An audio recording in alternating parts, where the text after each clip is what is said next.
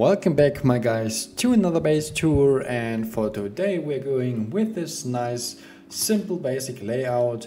I mean I do like it pretty much. We have some nice peeks on all three sides of the base which is pretty nice. We got a nice cozy shooting floor, we got a vending machine and we've got a very nice offset bunker going on in the base. So I would say we jump right into the tour by itself. So as you already can see, we have those nice peeks here, but I will show you further in the base tour.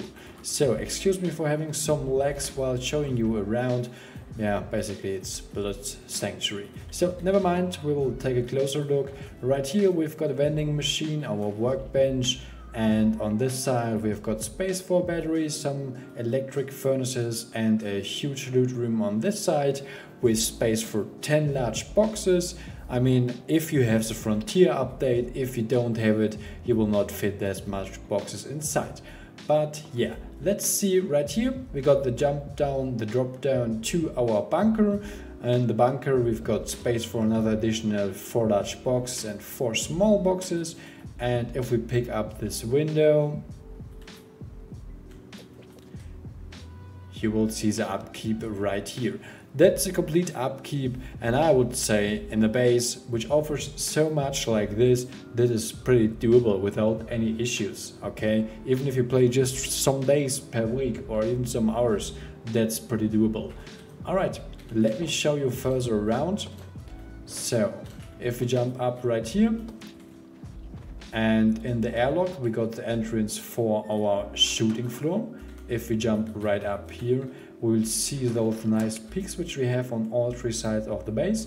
They are covered by those doors and makes it not possible to push someone inside or even drop down. That's pretty nice. I mean, obviously your gun can drop down, but that's it.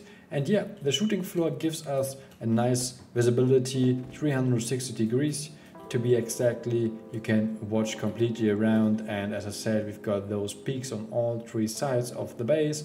We got space for a bedroom in here a locker some boxes which we can use and obviously these boxes we shouldn't use okay?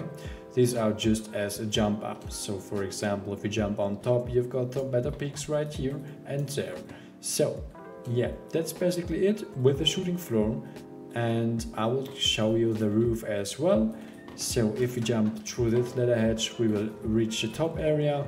On the roof, we've got some ramps for some nice peeks.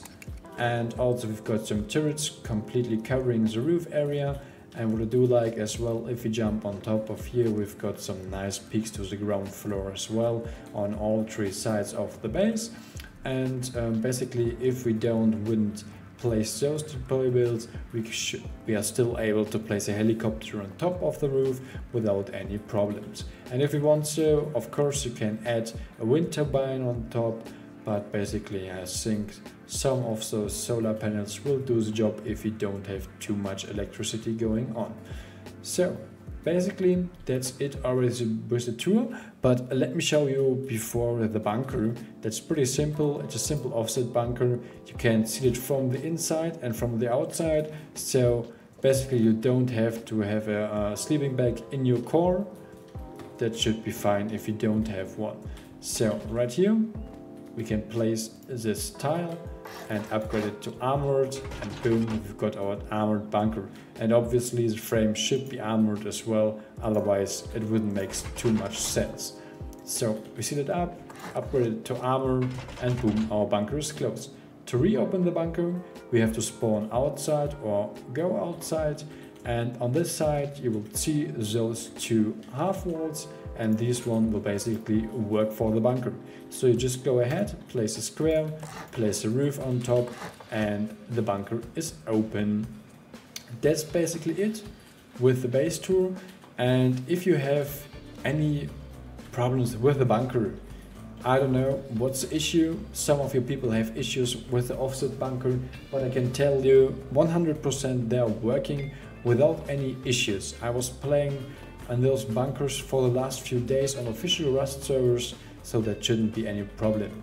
Yeah, if you play on some modded servers or something like that, I have heard from people they're not able to reopen the bunker, but if you play on official Rust, there shouldn't be any issues. Alright, I would say if you enjoyed it so far, we will see us right away in the base build. Welcome back to today's base build and as always we're going to begin with the starter unit, we keep it simple for today and as you wished we go expand to the final state of everything. So let's get right into it. We're gonna start with a simple 3x3, nothing too crazy. And then we go ahead and completely seal it off except for one part. And this part only so it's up to you which side you want to use that's your thing. And basically the middle of the base don't has to be high quality it can stay metal. That's pretty fine for the moment. And as you can see already the building servers are laggy once again. But never mind we're gonna continue from here. We got space for TC in here and basically yeah that's pretty much it right? We got space for some boxes. We're gonna place this right here close it up like this and normally I don't keep the jump up like this we should do it on this way grade this up and boom you got your first loot room down without any issues and basically for the jump up right now you should uh, use a simple furnace or basically ladder hatch, ladder room, that's completely up to you. So now we can go ahead, place a garage door in here, that's fine as well. Just like so. And then continue simply with the jump up. Um, the jump up is not that easy. We should start basically before with the bunker. So we get this nice loot room on top. So let's begin with the bunker. So for the bunker part, we just go on the left hand side of the jump up and then you will go ahead place this wall and this wall can be already upgraded let me do it for the moment just out of stone then we will continue with normal offset bunker you go ahead right here place a square foundation then move to the right side and go out 15 triangles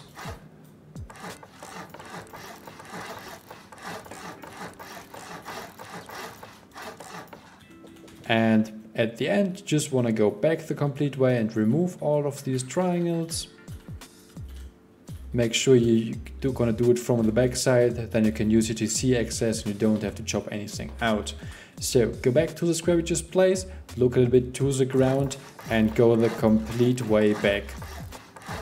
Just like so. Then you wanna make sure you look to the left hand side of the corner we just created and boom it should look exactly like this we want to have those white stone animations on the left side and want to upgrade it directly.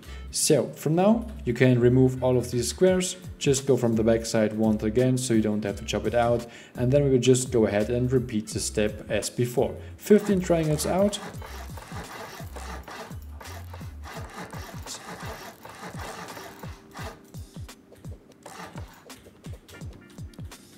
So then you want to go ahead and remove it all the way back. And excuse me for the legs, it's Builder Sanctuary. Sadly, I'm used to play on this server. Alright, just continue what we started. Now you want to go directly ahead, we can go to metal already, that's fine. Upgrade those two parts and then you can also remove all of these squares, that's fine. Just like so. Then make sure while placing this triangle, you go from the outside, just like so. Then you should reach 28% stability and this is exactly what we want. So now we want to place the frame, make sure you go from the outer side, just like this. Check the stability. Now we want to test the bunker. Go ahead and replace this part, place the roof on top and the bunker is open. That's pretty much the offset bunker, pretty common design right now. Let me color this up, I do hate it if it's too colorful. And now we can continue with the honeycomb and even furthermore base upgrades. Let's begin on this side so we can simply seal this part already up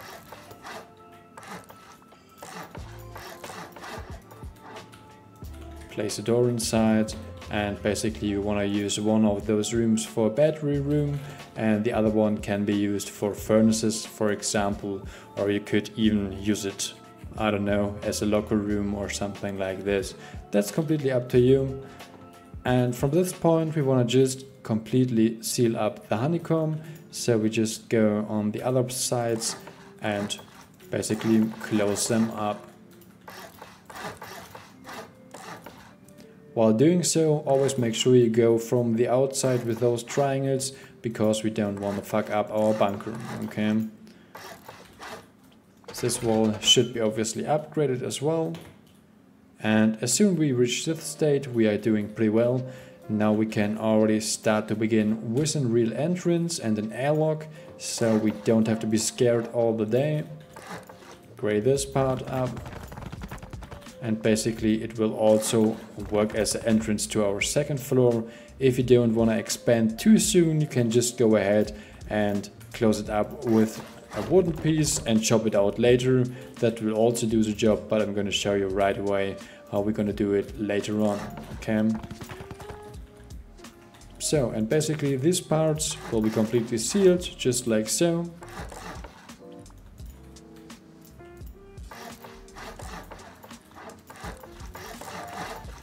And this one will be a pretty nice loot room. If we do have the Frontier update, we can fit 10 large boxes inside. If we don't have them, it will be just 6 big boxes and some small ones as well. So, now on this part, we want to have a vending machine on this side, and this side can be sealed up, and basically we can close everything. So, Let's get the ladder hatch down, get some doors down. The airlock is working.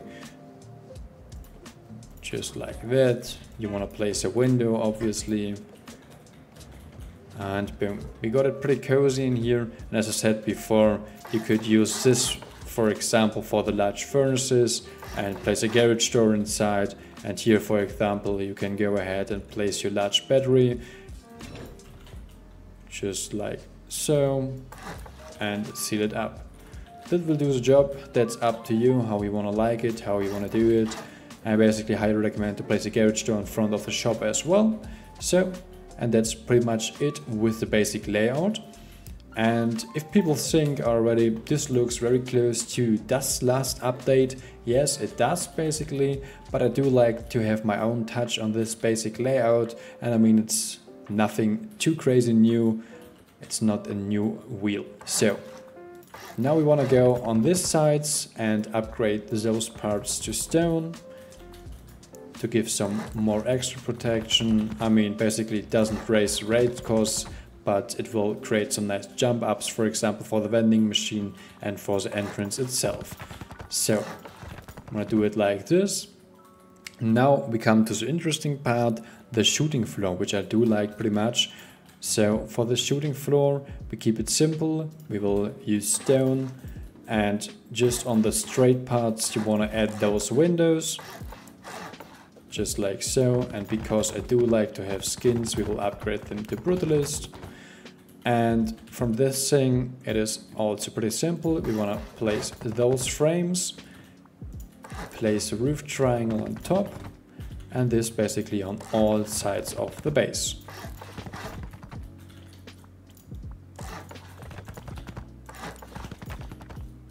Just like so.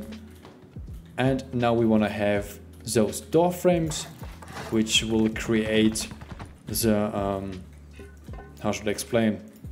So you can't jump inside those gaps we just created.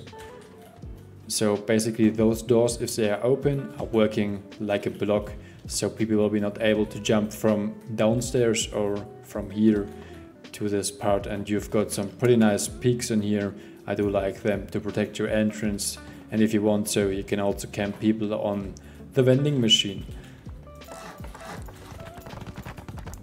Just get those doors down, keep it simple.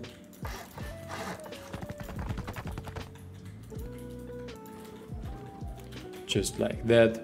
And basically what I do like to do before opening all those doors, create those extra protection right here. So people will be not able to, for if you close up the roof to jump just on top of the roof and enter. So basically right now you could be able, if it's closed, to jump in from here and to pretend that we keep it simple and just use a doorway on this side and also it will keep those peeks alive. Very important for the peeks, always leave those doors open, okay? So basically one door would also do the job, but I do like it like this.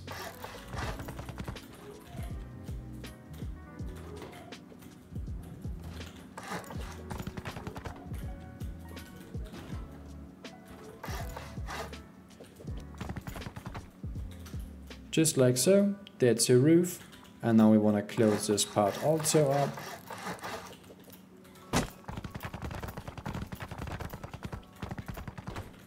And obviously we want to have the middle made out of metal. So if you want to keep the base like this, you can simply close this up. Otherwise, if you want to have a shooting, uh, another roof axis, you can simply go ahead and place, for example, a ladder hatch in the middle. What I wouldn't do, I would place a ladder hatch somewhere here, so it doesn't get dragged to the core. That makes pretty much more sense if you would place it, for example, on this corner, just like so. And from here, gently go ahead, take those embrasures and go the complete way around and boom, we got our shooting floor completely done.